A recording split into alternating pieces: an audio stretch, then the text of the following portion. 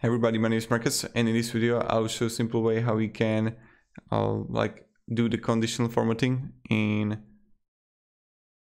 Smartsheet. So let's start. The first thing that you want to do is just when you're going to be here, you just want to click on this button, conditional formatting, right next to the highlight changes.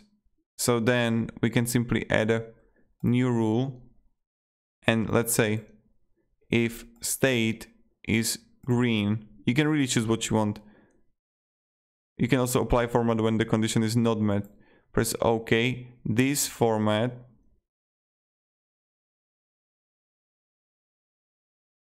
an entire row task. So yeah. So if the state is green automatically